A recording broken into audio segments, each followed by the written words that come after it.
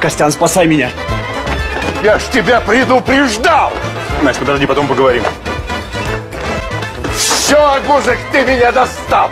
Я тебя сейчас на филе распластаю и твоим же друзьям скормлю. Шеф, шеф, шеф, э, это не поможет. Я его очень хорошо знаю. Лучше просто выслушайте его. Шеф, шеф!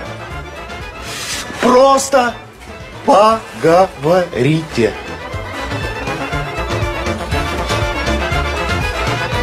Давай выйдем на воздух.